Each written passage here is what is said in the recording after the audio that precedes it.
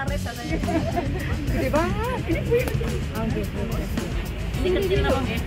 Oh, karet di bawah yang iya itu tuh yang besar. Ini pasangan kali ini.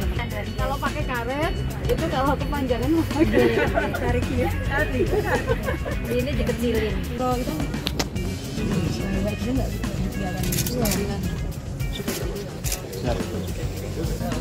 Ini sudah kan. Jadi enggak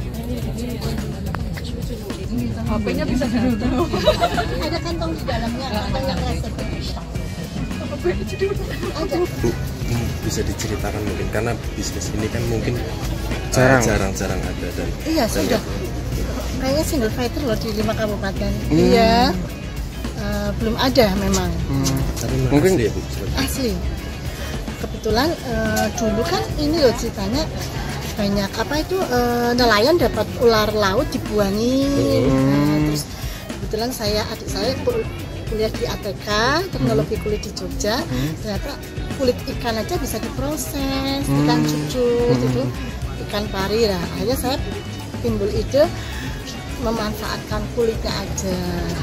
Awalnya dari ikan ikan itu? Eh, dari saya adik saya kan kuliah di ATK tuh kulit ikan aja bisa disam sama kulit katak bisa disamak akhirnya kenapa pasti yang lebih besar bisa gitu loh. Nah, akhirnya saya ngambil itu kulit ular laut. Ini kan lebih halus teksturnya. Nah, disamak bisa jadi produk. Kan disambung-sambung sebetulnya kan segini doang. Hmm. Nah, tapi kalau teknik penjahitannya jadi nggak kelihatan sambungan. Aja kelalen follow lan subscribe sosmed Tribun Banyumas ya.